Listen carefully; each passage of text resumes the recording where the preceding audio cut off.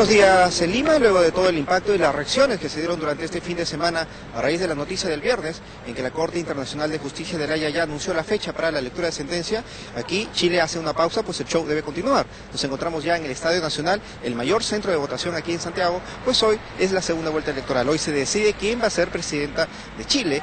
Están solamente dos candidatas que pasaron la primera vuelta, tanto Michelle Bachelet de la representante de la izquierda, como Evelyn Matei, representante de la derecha. Como podemos observar, ya las puertas se abrieron aquí en este lugar donde deben votar aproximadamente unas 190 mil personas. Podemos ver ya todo el personal militar que está dando la seguridad del caso. También hay personal de la Cruz Roja. Esto para atender a las personas que puedan sufrir algún desmayo. Hay que tomar en cuenta que la temperatura para hoy se pronostica en 32 grados como temperatura máxima, así que es mejor tener las eh, previsiones del caso. Nosotros vamos a mostrar ya cómo se vienen instalando algunas de las mesas de votación, mientras les indicamos que en total son 43.000 las mesas que se van a instalar hoy día aquí en todo el país.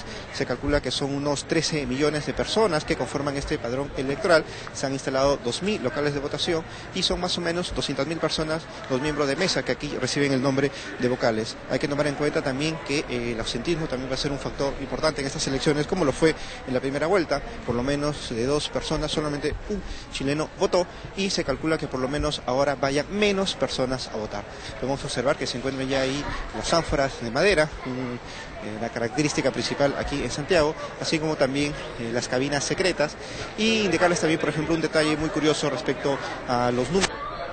Eh, Muchos tienen el nombre de 8M, 9M, algunas tienen una B chica, ya que esto eh, es una herencia de la dictadura en que votaban tanto mujeres como varones de manera separada. Hoy ya se hace de manera mixta, sin embargo, aún no se ha cambiado por ley el tema de la numeración y eh, esta B chica y M que permanecen en algunas eh, como inscripción en algunas de las mesas.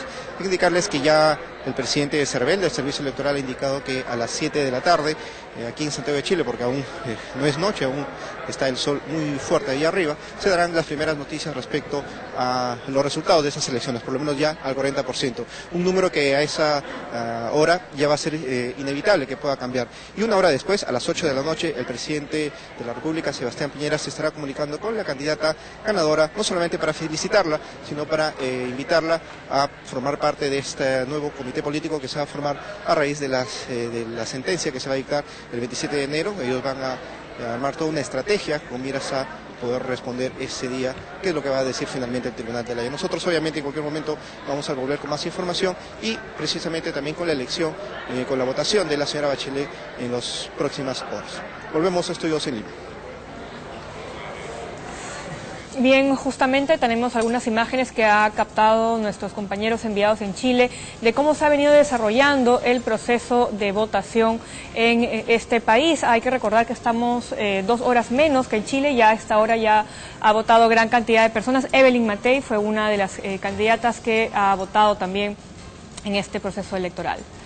La candidata de, digamos, el oficialismo del partido de derecha que encabeza el presidente Sebastián Piñera, Tarea difícil la que tenía la candidata Evelyn Matei debido al poder de arrastre que traía Michelle Bachelet luego de un final de gobierno allá por el año 2009 con alta aprobación la candidata de la oposición del socialismo chileno Michelle Bachelet. Y entonces la misión de esta mujer Evelyn Matei era una misión compleja para estos comicios. Hizo bastante ya pasando a segunda vuelta e impidiendo el capote en primera vuelta de la opositora Michelle Bachelet.